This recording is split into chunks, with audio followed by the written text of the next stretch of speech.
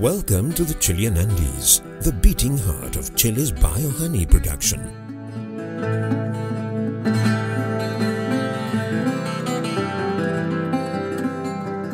We are in the municipality of San Fernando, Fanor Vidal's apiary.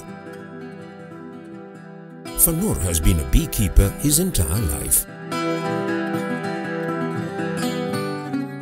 And it was precisely here, in the midst of all this nature, where he was born and where he learned the secrets of beekeeping. It's easy to lose yourself here among the mountains and native plant life, with its surprising number of endemic species.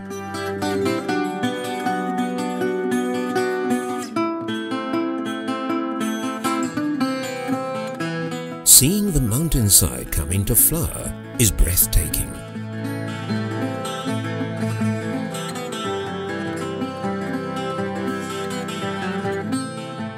Sweet, sweet honey contains the perfect balance of nectars, pollens, and pure crystalline waters sourced from mountain springs and seasonal glacial thaws.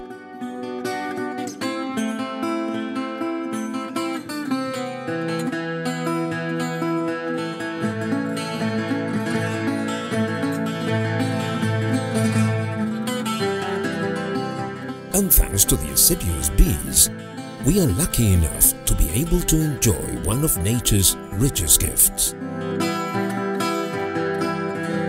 Bees work so hard that they can only live for around 50 days. During that time, each bee produces just a teaspoon of honey. That is why we need to take care of them. And Fanor does so expertly.